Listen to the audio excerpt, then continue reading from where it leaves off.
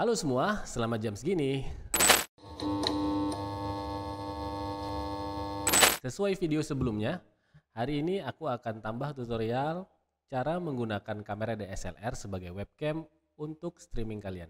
Penggunaan kamera DSLR ini sebenarnya sangat simpel. Kalian hanya butuh kamera DSLR-nya dan kabel USB-nya saja. Untuk kabel USB sesuaikan dengan kabel USB yang kalian punya.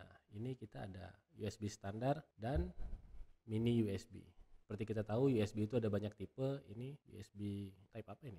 Type B kayaknya. Dan ini mini USB. Oke, hari ini aku menggunakan kamera DSLR Canon. Kita pakai 1100 terus kita gunakan juga kamera DSLR 5D Mark II kita gunakan kamera-kamera jadul ya jadi untuk yang pengen hasil webcamnya bagus uh, mungkin ada yang kepikiran beli webcam LG misalnya yang harganya 2 jutaan mending kalian beli kamera second ini deh kamera Canon 1100 juga harganya 2 jutaan hasil kualitas uh, webcam kalian nanti jauh lebih bagus oke okay, First thing first, cara pertama setelah siapkan kameranya, kalian silahkan ke Google kalian cari yang namanya EOS Utility. Oke, okay? EOS Utility webcam ini sudah ada. Kalian tinggal pilih di sini ada Home Canon EOS Webcam Utility. Oke, okay, klik kanan di mouse kalian untuk ke New Tab atau uh, tekan tombol tengah di mouse kalian. Kita tinggal turun. Nah, di sini ada downloadnya for Windows untuk pengguna Windows, for Mac OS untuk pengguna Apple Macintosh. Oke, okay, kita tinggal download. Sebagai informasi aku sudah download. Jadi kita download. Nanti ini akan menyesuaikan dengan OS Windows kalian ya. Download. Oke. Okay. sudah selesai downloadnya. Tampilkan dalam folder. Kalian klik kanan ekstrak. Terus dicari EOS webcam utility-nya ya. Oke. Sebagai informasi aku juga sudah menginstal jadi aku tidak akan install lagi. Kalau yang baru menginstal kalian tinggal pilih next next next next dan finish.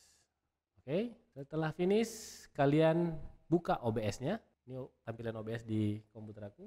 Kalian buka OBS nya aku tambahin dulu uh, display capture. Sip. Ini OBS nya aku siapkan kabel USB nya untuk yang mungkin ground listriknya kurang baik di rumahnya eh, hati-hati uh, saat memegang si kamera ini di bagian-bagian yang ada besinya karena kadang agak nyetrum sedikit sedikit saja cuman cukup lah buat geli-geli sedap. Oke, okay.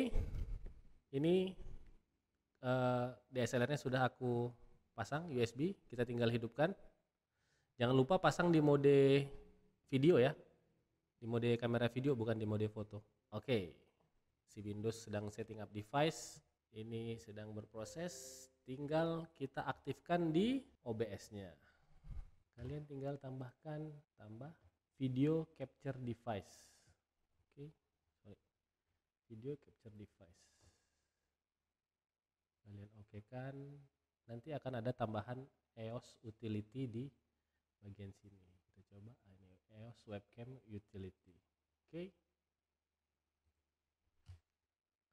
Nah si kameranya pun akhirnya terpasang sebagai webcam. Apa kelebihannya? Kalian bisa ganti lensa kalian bisa atur fokusnya, zoomnya. Berbeda dengan webcam yang mungkin kualitas uh, tampilannya biasa saja. Kalau di sini kalian yang senang dengan bokeh-bokeh atau yang belakangnya agak ngeblur, kalian bisa dapat itu di sini. Oke, nah itu contohnya. Atau kita ambil ini. Nah, oke, kamera 1100D aku akan matikan. Kita akan coba di kamera 5D Mark II. Semakin bagus lensa kalian, ya tentu modal ya. Semakin bagus juga hasil webcamnya. Oke, okay, 5D Mark II. Legend nih, kamera di studio yang sudah berumur 10 tahunan apa ya harusnya. Oke, okay, di on kan. Ya. Aku akan naikkan ISO-nya. ISO. Oke ya kita tinggal oke okay kan Cik tolong Cik ambil muka abang Cik enggak harusnya jangan pegang besi oke okay. nah ini dia kita coba matikan display uh, kita tinggal atur si framingnya si framing webcamnya oke okay. display capture matikan oke okay. gimana tentu hasilnya lebih kerasa lebih lebih cantik ya nah bokeh-bokehnya bisa dapat fokusnya bisa dapat dan tentu ini kualitasnya lebih bagus daripada webcam biasa jadi untuk hari ini tutorial yang simple. Oke, aku recap. Kalian butuh kamera DSLR-nya. Mungkin yang pengen beli webcam LG boleh pikir ulang untuk beli 1100D yang harganya mirip 2 jutaan sebenarnya. Terus kalau pengen bagus tambahin lensa 50 mili, Yongnuo pun nggak apa-apa 800 ribu. Terus kabel USB, USB mininya, USB standar bawaan kamera.